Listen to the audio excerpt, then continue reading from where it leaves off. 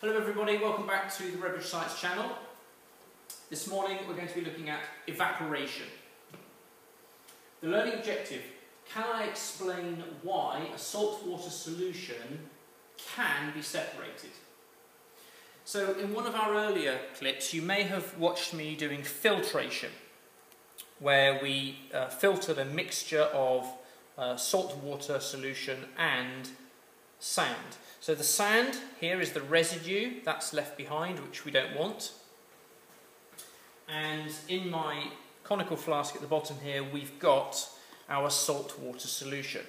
Now, at the moment, you're having to take my word that there is salt dissolved there in that water. So the way to prove it is to evaporate it. So we're going to try to evaporate the salt water solution. This is called an evaporating basin and hopefully you can see there that it's clean and dry. So I'm just going to pour a small amount of my salt water solution into here. Don't want too much or it just takes too long. To make sure I've got my goggles on and we're now going to heat the salt water solution. And I'm going to heat this on a roaring blue flame to try to make sure that it goes fairly quickly. So what I'm hoping to do is to prove to you that there is salt dissolved in that water uh, and the way to do it is to separate the water from the salt. Now, the reason why this should work is because water has a boiling point a boiling point of 100 degrees Celsius. So once that water reaches 100 degrees Celsius, the liquid water will boil or evaporate. It will become steam. It will turn into water vapour, steam, and it will escape from the top of the basin.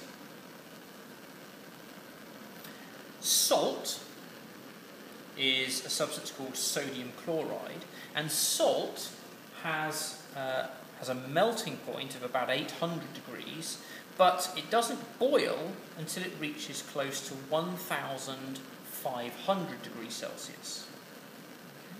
So water boils at 100 degrees Celsius, but salt will not boil until I get it to 1500 degrees Celsius, which I'm not going to be doing. I won't get it that hot. Now hopefully you can already see the water is beginning to, to bubble and to boil. Now I'm going to keep an eye on that for a moment, okay, but whilst doing that I'm also going to draw you a diagram of this equipment. So, we have our heat-proof mat at the bottom,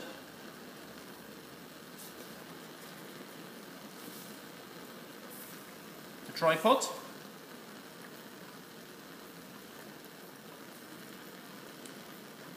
gauze. Now evaporating basin is quite tricky to draw. Okay, so I'm actually going to just use a beaker here to draw around the base. Oh, that wasn't very good. Okay, so there's an evaporating basin. And can't write the word heat upside down. Okay, and there's the Bunsen. So this would be uh, a diagram of the equipment and obviously in here we've got our saltwater solution. Now, it doesn't take very long and what you've got to be very careful of with this is not to allow the evaporating basin to turn to go dry. Okay, if I was to evaporate all of that water, the dish will probably crack. Okay, so I'm just going to give it a moment more. So the water is evaporating. I'm not sure if on the camera you'll pick up any steam coming out of the top.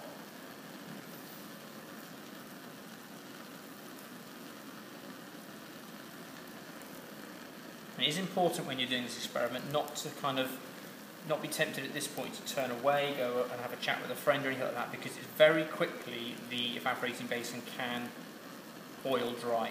And as I say, it will then almost certainly break.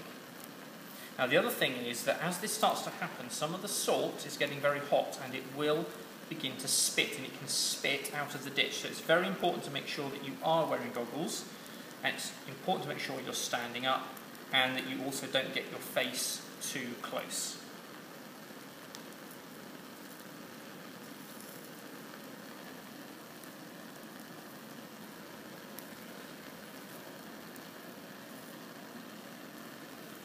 Okay. Okay, I'm going to stop heating now because the salt is just beginning to spit. Take my buns out. Turn it onto a safety flame. Turn that off.